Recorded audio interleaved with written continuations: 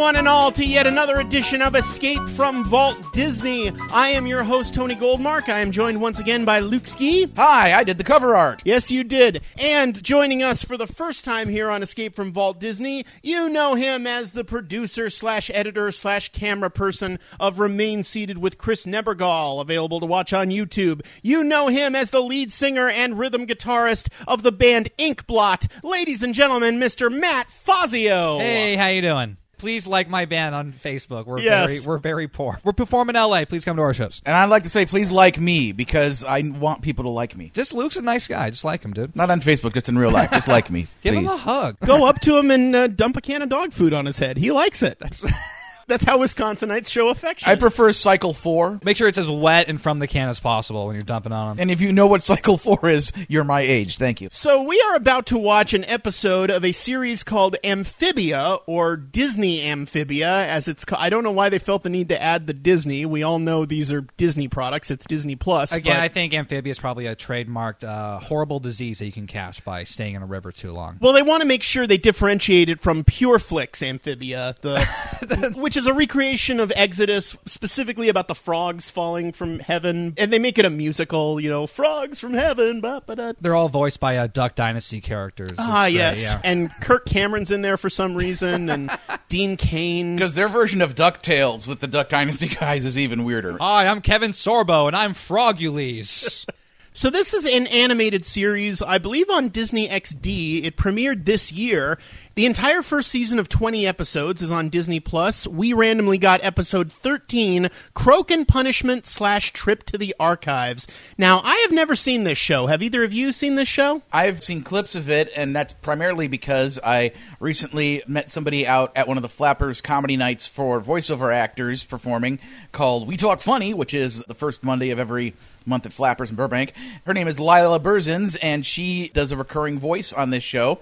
She messaged me a clip of it, and so I watched that to see what her character was, and it seems like a great, funny show to me, so that's pretty much all I've seen. But as a person who has his ear to the ground of what's happening in the animation industry since I'm looking for a job, I have heard nothing but good things about this show. Matt, have you ever seen it? No, but same as Luke, I've heard um, really good things about it. And generally, Disney animation has been fantastic on the TV front. Gravity Falls was great. Star versus The Forces of Evil, I, Yeah. I enjoyed quite a bit. Milo Murphy. Yeah, I'm excited Milo- about well, this. going yeah. all the way back to Phineas and Ferb. I mean, Disney Animation is Wander Over Yonder was an amazing Oh, show. that was great, know- yeah. The new version of DuckTales, which basically is the Disney afternoon television universe in Yes. one show. Oh, I joked about on Facebook the show was made for me, so it must be weird for regular folks to watch it. Because I'm watching, like, there is a direct reference to Mickey's Christmas Carol. Like, how many people besides me would get any of this? And they also throw in so many references to the original comics. Like there was one episode recently where they threw in a character named Bombi the Zombie who was banned from the comics for a while for basically being racist. They brought him back in a non-racist way. They completely changed his design. But just in the opening segment when someone mentioned the name of Bombi the Zombie, I'm like, "Holy shit, they're doing Bombi?" They're going back to that deep cut? Oh my god. It's like so many Easter eggs. But we're watching a different show here called Amphibia, even though that DuckTales reboot is on Disney Plus, I understand. Now, the one thing I've heard about Amphibia is in one of the episodes, possibly the pilot, I'm not sure, Kermit the Frog apparently makes a cameo. Oh, shit. because as the title suggests amphibia this is about a world of talking frogs or something. Even though we're paused on the first shot here and it is three human girls one of whom has a glowing treasure chest that's open in her hand. Uh, so it's like a pulp fiction thing. We don't see what's in the chest but perhaps we will once we press play. Uh, are you guys ready? Yes. Let's do it. All right, we will be back to tell you what we think of Disney Amphibia, episode 13, Croak and Punishment slash Trip to the Archives. Yay!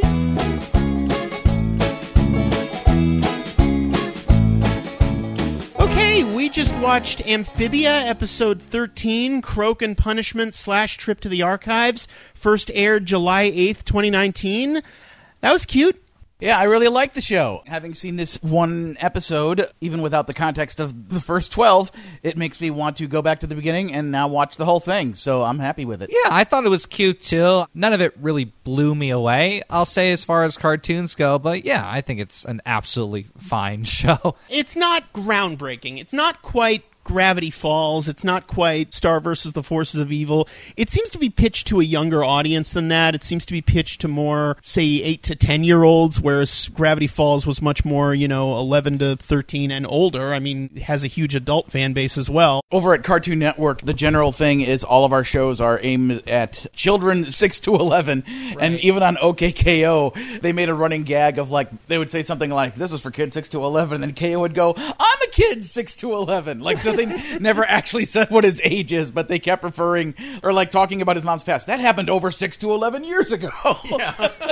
That's really So, yeah. interesting because that seems like a really young demographic for some of these Yeah. shows, which I feel like would be at least until 14 or 15 or something like that. And I remember being at a meeting with some of the bigwigs. There were 200 people, employees in the room, and they kept talking about the demographic of 6 to 11.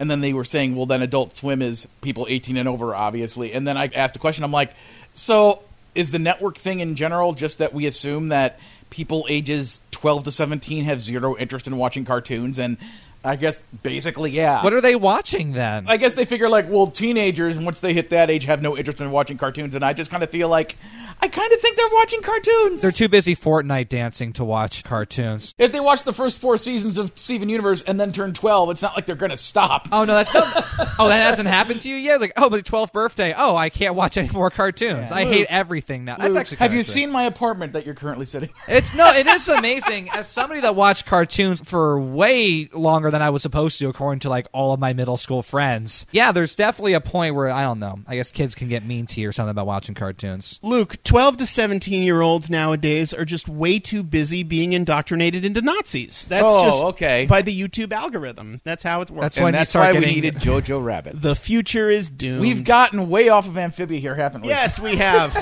Although Nazis do have their own frog, don't they? But Oh. um, so I'm, amphibia I, is I hope the people who make the show are listening to this. Hi, we just. Hi. How'd you like that last transition? Was that great for you? Oh, we are dynamite here. So, Amphibia is this new show about this magical frog kingdom. The main character is this little girl named Anne who gets sucked into the frog kingdom somehow. I don't know. We Through, didn't through, through watch the magic chest that we through the saw. magic chest that yeah. we saw in the opening titles. And her best friend is this red frog named Sprig, and they go on wacky adventures together and try to find a way to get the little girl back to the human world. We also don't know what happened to her other friends that were in that introduction. Right. Is something I noticed. Maybe that's in one of the I other episodes we didn't watch. Maybe they just watched her disappear in, into thin air when the chest opened. But that's interesting to have those characters and then we don't see them throughout the show. That well, they, a little they probably had them there to establish in this opening title sequence that oh look, it's the regular human world. There's some humans, and now zap we're Oh in no, I'm thinking world. the opposite is that they're lost somewhere else in that world and they just haven't met each other yet. Again, we haven't watched the whole show. We just watched this one Hmm. Again, episode. this is just based on watching Yeah. one episode, so we could be way off. there are gonna be this. people I'm laughing sure- at us at our Yeah, egg- people are already sending me angry tweets. Please Wouldn't it be- post it your 50 inter- page fan theories to Wouldn't it be interesting if this episode happened to be the Starvin Marvin in space episode of it, where it's completely different from everything else? it's that they've actually a done? Show about dogs. It's a show about dogs in space.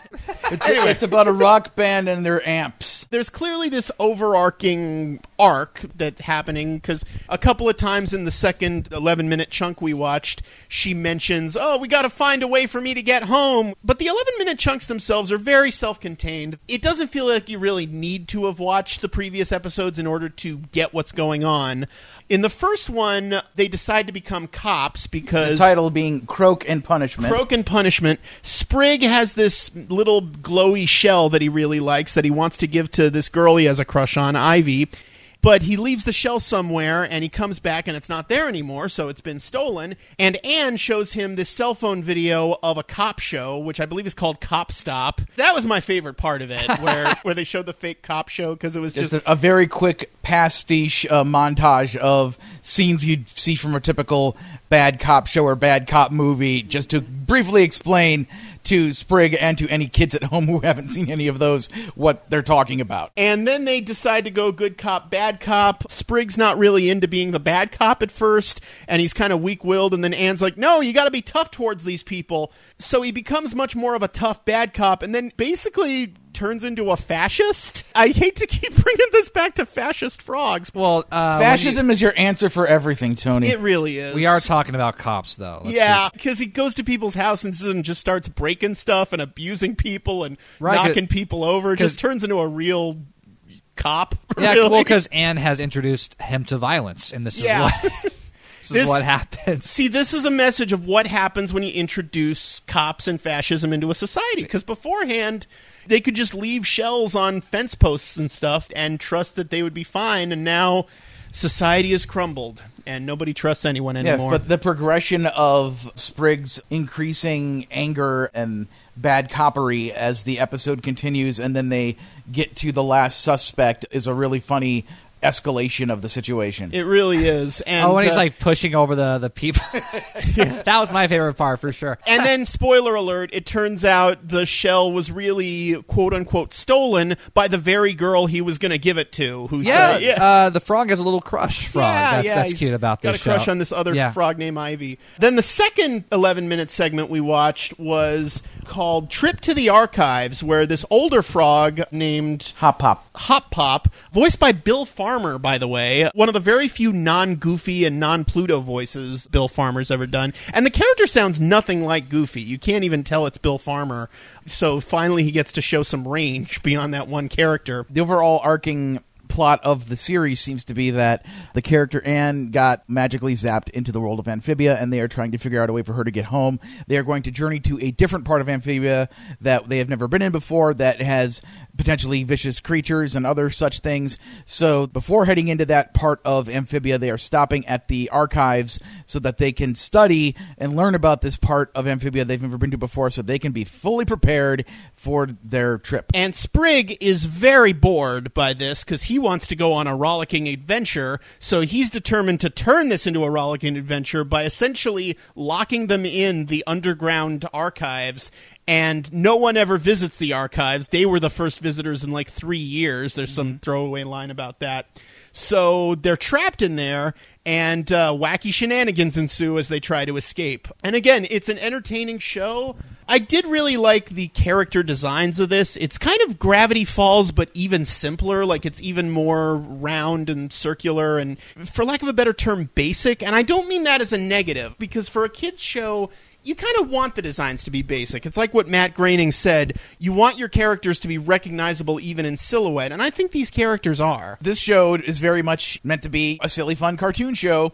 A lot of the shows out there, like Gravity Falls and Star vs. the Force of Evil and Adventure Time and Steven Universe, which are all awesome and great shows, they have 11 minute episodes that are internalized, but then the whole series turns into this big, like, you know, there's mysteries and there's plot lines and there's threads that last multiple seasons long and, like, whoa, heavy with the mythos. And this show while it does have an overarching mission of trying to get Anne home, it mainly just seems to be about, hey, we're a funny, silly cartoon show. And if Kyle Carrozza was here, I think he would say sometimes it's just fine for a funny, silly cartoon show to be just that, and let's just watch a show and enjoy it. This show certainly delivers on that for both of these episodes, and I'm excited to see the rest. While we were watching it, Matt, you even said, so this is kind of an adventure time type thing. Yeah, I mean that is kind of my biggest problem with it is that it does remind me a lot of the other shows that are on the Disney Channel, like Star Versus and Gravity Falls. Obviously, it's not exactly the same as those shows, but there is kind of like a, a smarminess to it. There's kind of like an irony to everything. I, I point out Adventure Time because I think that's kind of the catalyst of all of these shows. Like once Adventure Time happened, like shows got a little bit more self aware. They got a little bit more smarmy, hipster, for a lack of a better word. Even though Adventure Time is very different from all those other shows. Oh yeah, Adventure Time is one of the best shows of all time, and it's because it really started this trend. Like before Adventure Time, every show was trying to be SpongeBob. That was the last big show that changed television animation. And I don't think there's anything necessarily wrong with trying to do something successful. If you were inspired by Adventure Time and you wanted to make your own version of a show that's like Adventure Time, I, there's nothing inherently wrong with that. I do think, though, that as Disney Channel goes on, they can't really be relying on this formula. So something like this, I feel like this is kind of the exact limit of like how many more shows of this tone that they can put out there. I think they got to start doing something different. The only thing I take issue with with everything you just said is your use of the word smarmy. I just kind of feel like that's too much of a negative connotation to Well, no, the type I- of humor you're trying to go for. That whole kind of tongue-in-cheek, self-aware thing. But that is what's happening though in these well, shows. yeah, but I'm just saying It- that smarmy. I don't think that's I think necessarily smarmy's a little negative. heavy it's a word. little snarky. It's a little commenting on how cartoony and silly all this is. It's a smidge full of itself, which Yeah. again, in large amounts, that can be bad. it doesn't go too far with it. It stays in the realm of it still being charming. I do see what Matt is saying in that the type of humor used in the show is not all that dissimilar from the type of humor used in a dozen other shows I could name that have come mm-hmm. up in the last five years or so. And that's just kind of the nature of TV in general. It's like if you have a hit, if you have something that really connects with people, you try to replicate that success. And I don't even think that's a malicious thing. I just think that's the kind of thing TV executives gravitate towards is something similar to what worked in the past. Those are the kinds of pitches they respond to. because of that aspect, though, it's important to understand that these cartoons aren't made in a vacuum. Like, Right. Amphibia isn't the only cartoon to kind of compare this stuff to. We have these other things to look at, so it is important to kind of remember like where things are going, kind of where things came before, to see something like Amphibia and think, oh, this is very much like Adventure Time, is like all this other stuff. Amphibia is not a groundbreaking show, but it is a perfectly fine It's show. it's a very acceptable show. Absolutely. It's acceptable TV, as Dan Harmon would say 15 years ago. A couple notes, some pretty good lines of dialogue. One of my notes just says, dehydrated, mummified bodies clawing at the door. that was in the archives. I forget the exact line. This gang has been through a lot, and we're gonna make it through this too. I mean, we better, because if we don't, we'll be trapped here for weeks. No food, no water, until they find our dehydrated, mummified bodies clawing at the door. Yeah, I probably could have ended that speech earlier. It made my notes at the very least. there was a weird moment. They realize, oh, maybe we can escape through the skylight. And Anne tries to crawl out, and she gets stuck, even though she gets her head all the way through. And if you look at her character design, her head is easily the thickest part of her body. Like the rest of her is just really skinny, and her head's way wider than the rest of her. So getting her head through should be fine, but again, cartoon logic. I think the idea was that she got her hands up through the hole, but then her arms. That was the part where she got stuck because her arms were folded up in there. There's some good voice talent on this show. I know I heard Stephen Root at one point. John DiMaggio, Kevin Michael Richardson. Yeah, the, Um, the usual gang of people you hear on every animated show, pretty much. I looked up some info on the creator, Matt Braly. He was a former storyboard artist and storyboard revisionist for Gravity Falls. He's credited on a bunch of episodes of that. He's credited as a writer and storyboard artist on an episode of Steven Universe and an episode of Big City Greens.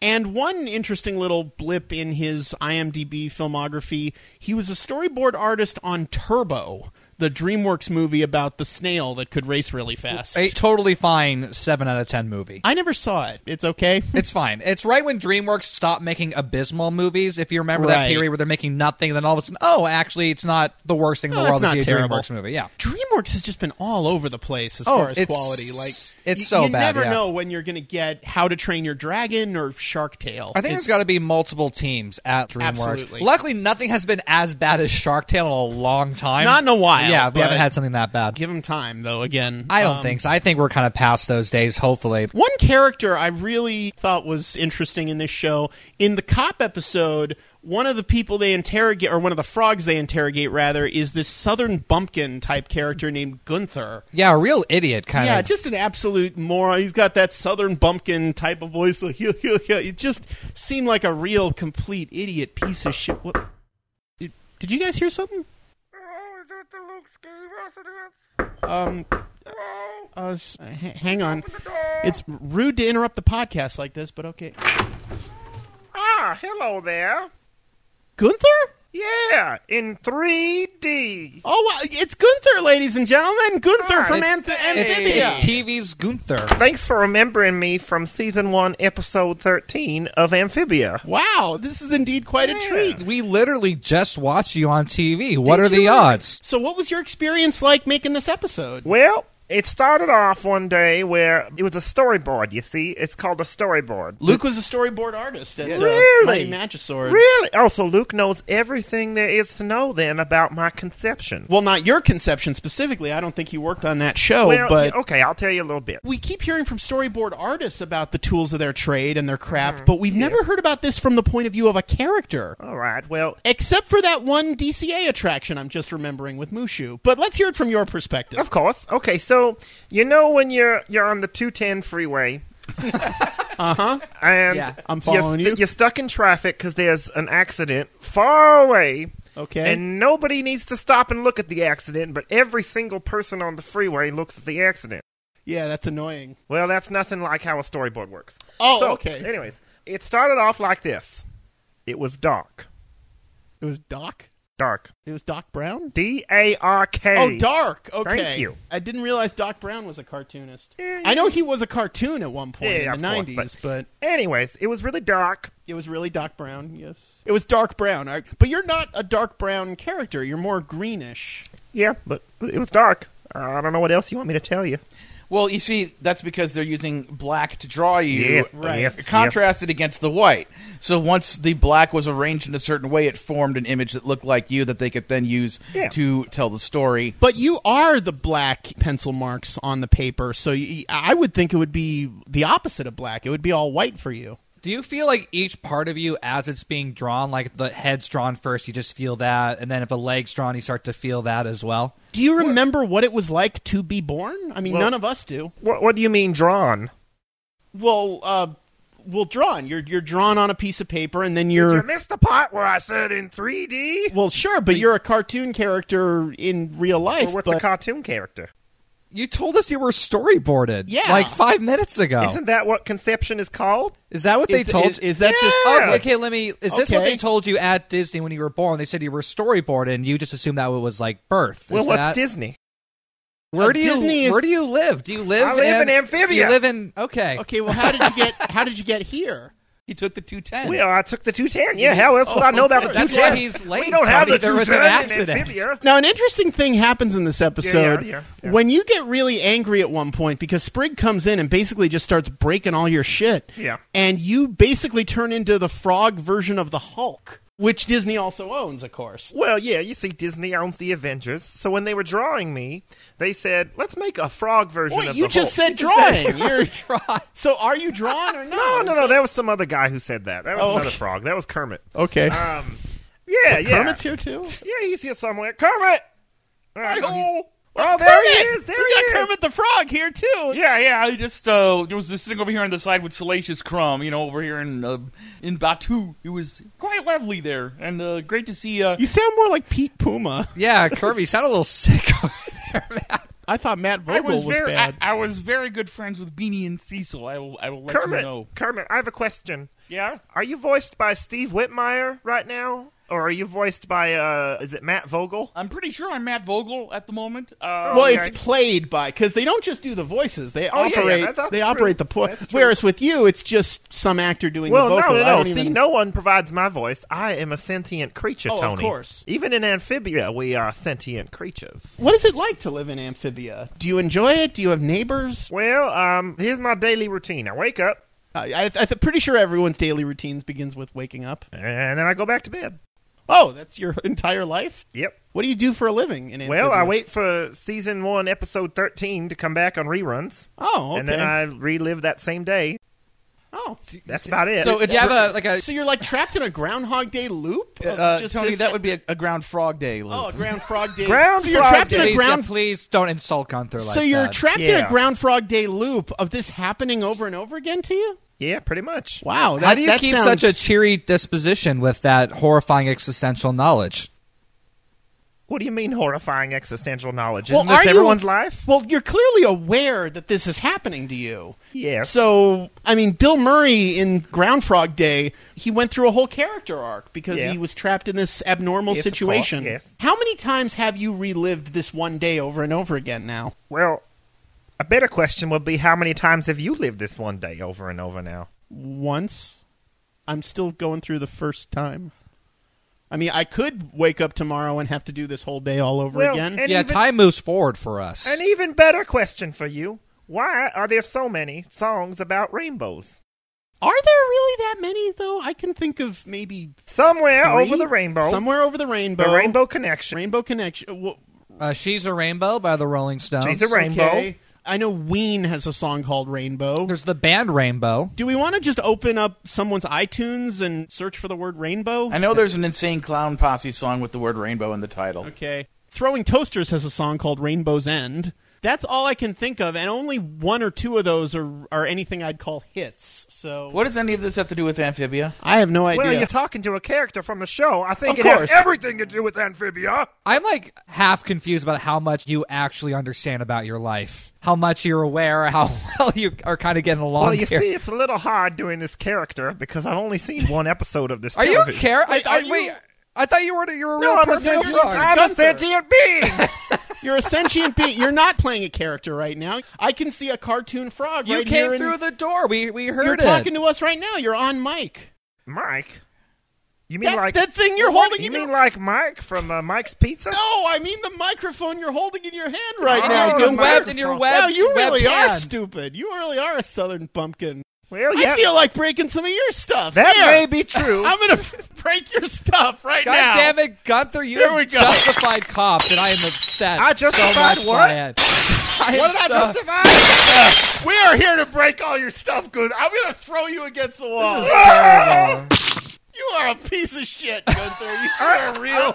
I have to say, before you throw me against the wall again, is this the weirdest episode you have ever placed on your YouTube channel? This is only episode four of this podcast. Wait, you know about my YouTube channel? Yeah, we all love your YouTube channel on Amphibia. Oh, really? Yeah, Tony Goldmark. You've seen some jerk with a camera and one Well, movie later and all Yeah, that? but my favorite episode, it was a one movie later Uh-huh. about a little film called Wonder Park. Oh, I was in that one actually. Were you really? Yeah. Yeah. Well, I only saw the first two minutes, so uh, so you just got bored and you stopped watching, or well, only two minutes stream. so? Wait, it's your favorite episode, but you've only seen the first two Yeah. minutes. Yeah. So what did you think of the movie Wonder Park? well, the first two minutes were great. Oh, wait, do you just watch the first two minutes of everything? Yeah, So, do you think one movie later is just a show about Tony Goldmark talking in his car? yeah. Isn't that what every one movie later it's about? Some of these episodes, I'm sure, have ended very abruptly for you. Do they just automatically cut off at the two minute mark? Is that how is that how YouTube works in Amphibia? Well, what's YouTube?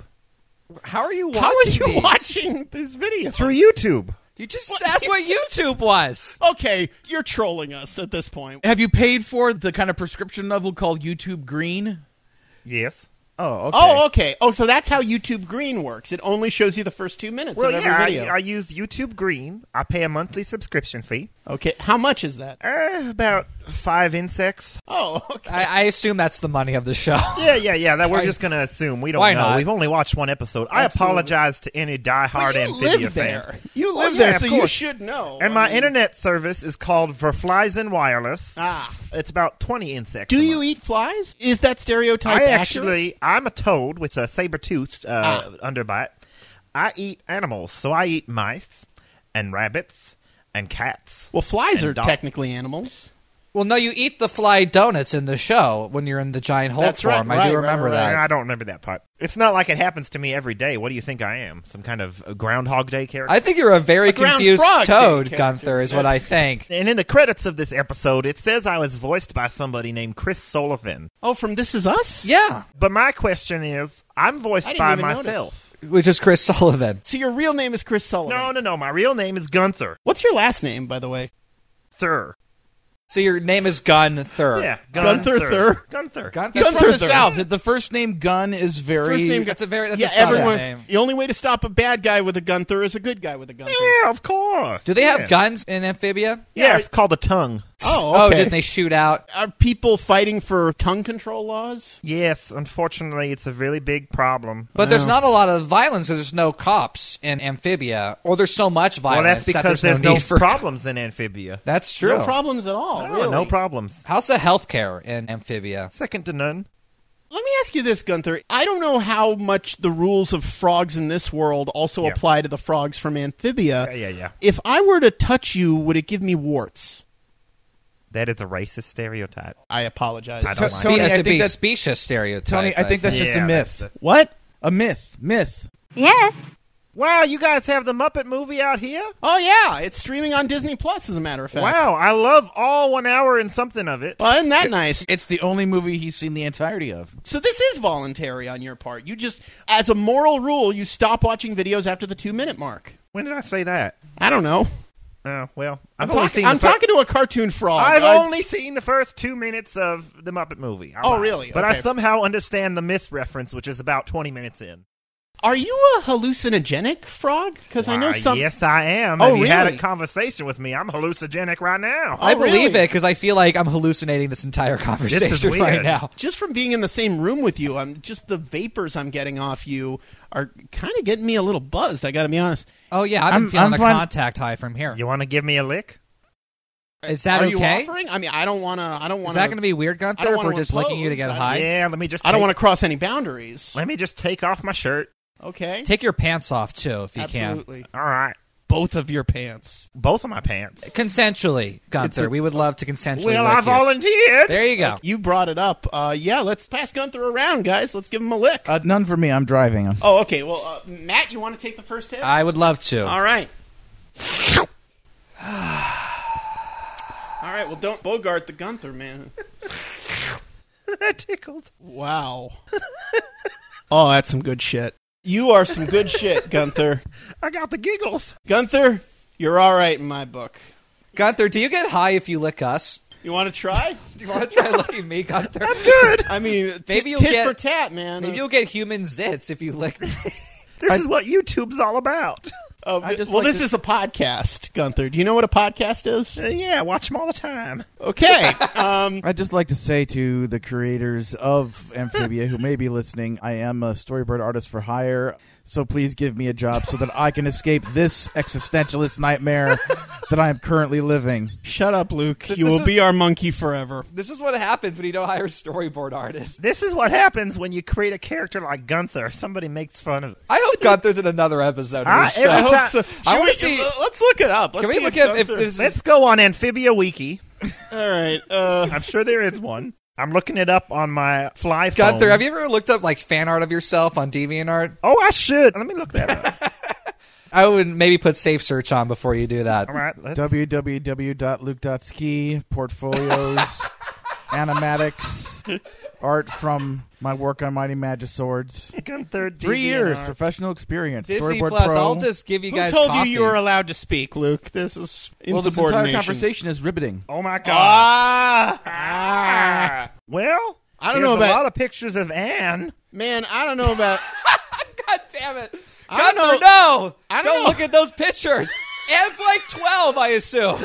Matt, I don't know. ages 6 to 11, for God's sake. For I some, don't know about you, Matt, but that Gunther's really starting to kick oh in. Oh my- Whoa. For some reason, there's a picture of Timmy Turner, Steven Universe, Kenny from South Let me. Park, I, I need to see this. And they're writing in Cosmo from Fairly Odd Parents. Honestly, this is more upsetting than any porn I would have imagined from this. I can see through time. It's about as bad as the old Sonic design. This is like actually depressing. Oh my god! And SpongeBob is crying for some reason in this picture. It makes no sense. Wow. There's Veggie Tail, Veggie Teens. Gunther, were you involved in this? Did You- you, you- sign off on any Did of you? the- I'm we- actually as a a storyboard DeviantArt artist. What you? artist. Oh, really? We need to cancel the internet. Has anyone looked up to see if he's in any other episode? I thought you were doing that. I'm are you too? Are you too high Hang to on, fucking I- use your I'm- phone now, Tony? I'm working on it. Oh, my oh, God. Chris Sullivan also played Taserface in Guardians 2. Ooh. I'm on the fandom wiki for Amphibia. Oh, Gunther, do you have a cell phone? Do they have those in Amphibia? yeah, it's a Fly Phone 8. It's a f- God damn. The voice of Chris Sullivan, Southern Tusk Frog. First episode appeared in Croak and Punishment, so unfortunately, I that's your not one and only episode. Yeah, I have not been in another episode. Well, maybe Well, we- let's get the letter writing campaign started now so that we can bring Gunther back as a regular in season two. yeah, Give I him think his you're own- good enough to be in another Give him episode. his own Gunther. spin-off, honestly. could have That my- is It'll be called Gunther and Ferb. do it exactly like the 70s Incredible Hulk series, where it's all about the duality of you turning from frog to frog monster. Y- You know, I'd be okay with that as long as I could be played by a pro wrestler. Absolutely. So I think there's only uh, one more question we need to ask here on this episode of Escape from Vault Disney, and that It's, is, it's what has become of our lives. Is that well, two more questions. the other being, what's the attraction? So now that Amphibia is going to be this huge hit, especially with Disney Plus carrying it, it's going to be the most watched thing on Disney Plus, obviously. How are the parks going to capitalize on that? Gunther. Lick the Toads Wild Ride. You Oh, yeah. start the ride by licking a naked Gunther mm-hmm. instead of a high check, and then you get in your motor car and you go through the wildest acid trip in the wilderness. But what's the ride like? You should know you licked my butt. Wait, that was your butt? Yeah, you didn't see the cheeks? Oh God! Well, now I feel dirty. Uh, Matt, what's now the attraction? you feel dirty. Don't shame me. Don't kink shame me. Sorry, I'm Matt. a judge. I think the ride is just Gunther with a PowerPoint slide, just going through DeviantArt pictures of himself and going, "Look at this! Look at this! The Carousel of Gunther. Veggie teens." Luke. Well, I'd say Country Toad Jamboree. Also, when you come in through the security thing at the tram, everyone has to remove one shoe so that you match the character Anne, who only wears one shoe. Well, as usual, you're all wrong. What they are going to do is bring back Muppet Vision 3D, but digitally replace Kermit with Gunther. Kermit, what do you have to say about that? You've been in the corner this whole time, just kind of meekly watching us horrified. Well, you know, Tony, uh, when Disney bought Lucasfilm Star Wars, they paid four billion dollars, and when they bought the Marvel franchise, they paid four billion dollars, and when they bought Pixar, it was somewhere in the vicinity, I think, seven billion dollars. They bought the Muppets franchise from the Jim Henson Company for. Seventy-five million dollars, million with an M. Wow. So hmm. point zero seven five billion dollars. So basically, to Disney, the Muppets is just something they bought at a garage sale. We just I'm kind of to hear that, Yeah, we just kind of sit there and we don't get any representation in the parks. With Well, the you're excep- still at Disney World. but Yes, yes. Florida, I mean, but- they're kind enough to leave my buddy Jim's last film up there for the world to see in one place and one place only. And that's- uh, that's rough. And there's like half a gift shop left. my friend Ryan was just recently at that park, and literally at that gift shop, there is one remaining kiosk selling Muppet stuff. And it's only like one half of that kiosk, so I'm really sorry about that. It's Muppet Babies, too. It's not even regular Muppet. yeah, you know, it's the young people. They're coming to replace us, and we need to stop these damn millennials. The good news is there will be new Muppet content on Disney Plus in the future, so maybe you'll review it on the show here. That's, that's very Kermit. possible. That- Kermit, Sam Oh. Eagle. Hi, Sam. you're not supposed to talk about that Disney Plus series. Is that weasel lawyer guy going to come after me because of that whole Yes. NDA we had to sign? It is a disgrace that you have talked about it openly. So I'm pretty sure we were talking about Amphibia at one point. I don't Um, know. I, that sounds. Amphibia. So- that doesn't sound right. So, final verdict, guys: is Amphibia just based on the one episode we've seen Disney Plus or Disney minus? Luke, Big Disney Plus. Looking forward to watching the rest of it. Matt, Definitely Disney Plus. I want to watch more of it. I would also recommend, if you like the style of the show, to watch Over the Garden Wall, a show more people need to know about because it was amazing. Gunther, Disney Plus. Kermit, Disney Plus. Yay! Sam Eagle. The American Plus. Well, I agree with all of you. It is unanimous. Amphibia is a Disney Plus. I can't quite say it's going to be appointment viewing for me from now on, but if it's on, I might watch it. I might check out a couple other episodes. I'm gonna just work in a plug that for those of you who are fans of awesome cartoons that are silly, like Amphibia, uh, over on Hulu, they finally dropped the second half of season two of Mighty Magiswords. So go to Hulu.com or whatever device you watch it on and check out all 92 episodes of Mighty Magiswords, about 25% of which I did the storyboarding on. And sometimes you hear my voice too. Also, I want to say, please check out Remain Seated. It's coming back in a big way. We've got a, a very special multi part episode that we're going to release. It's going to be really good. Chris and I are very excited about it. And please check out my band, Inkblot. We're on Facebook, Inkblot the band, Instagram, Twitter, SoundCloud, YouTube, and we play all around uh, Los Angeles. So look out for us. I would like to plug a return appearance for Gunther in season two of Disney Amphibia. We're all going to fight for that. We'll start the We- petition now. We are going to start a GoFundMe. We are going to start a Patreon. We are going to start everything we can to get Gunther back in season two. Right, Sam? Ugh.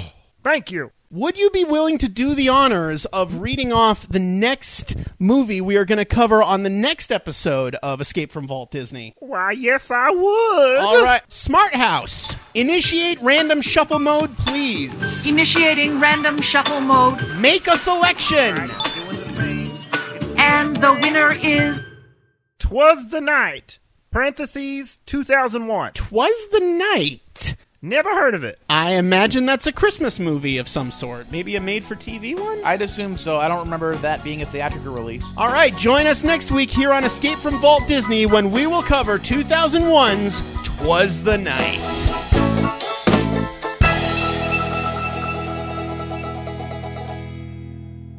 You are all weirdos.